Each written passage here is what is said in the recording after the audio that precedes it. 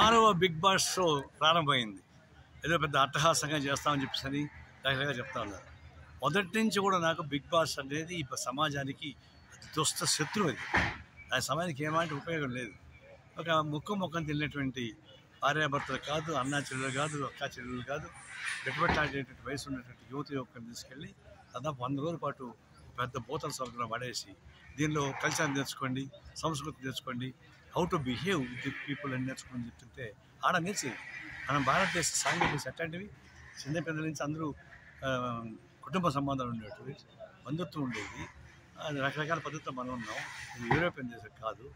మీరెందుకు చే- నేర్పించేది అంటే యువత యువశక్తి బయట ఉంటే అనేక సామాజిక ఉత్పత్తి పనికొచ్చేటువంటి శక్తి అది. National property.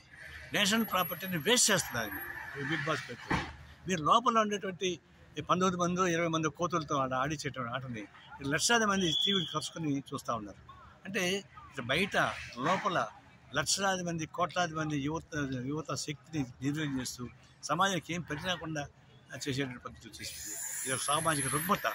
Big boss show ఇది సామాజిక రుగ్మత కాబట్టి నేను తీవ్రంగా ఖండిస్తున్నాం. చెడు సాంప్రదాయం పోతుంది? తప్ప మెసేజ్ ఏం పంపిస్తారు మీరు? లోపల నూరు రోజుల పాటు మేము ఉన్నాం యువత ఒకలేము చాలా స్వచ్ఛందంగా బాగున్నామని చెప్తే నమ్ముతాడా? తాటి చెట్టు కింద కూర్చొని పాలు తాగితే ఉండి నమ్ముతాడు? అదే బోతల హౌస్ నుంచి బయటకు వచ్చేవాడిని చూస్తే ఏమంటాడు?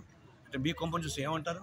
ఇవన్నీ చూస్తున్నప్పుడు మీరు చెడు సంకేతాలు పంపించే సామాజిక రుగ్మతకు ఉపయోగపడేటువంటి ఒక దరిద్ర షో తప్ప అది రియాలిటీ షో కాదు. రియాలిటీ బూత్ షో తప్ప ఇంకోటి కాదు. దాన్ని మేము తీవ్రంగా ఖండిస్తున్నాం. ఇట్లాంటి దాని సర్వ సభ్య సభ్య సమాజం దాన్ని అసహించుకోవాలి ఇంతమంది జనం చూస్తే నాకు అర్థమే కాలేదు. చూసేవాళ్ళు తెలివి తక్కువ ఆడేవాళ్ళు తెలివి తక్కువ మేము మంది ఫుల్స్ చేసి డబ్బులు సంపాదించుకునే బిగ్ బాస్ ఓనర్ తెలివి అంటే ఇది కేవలం అన్యాయం ఇది. నాగార్జున లాంటి వాళ్ళు బాగా డబ్బులు సంపాదిస్తారు.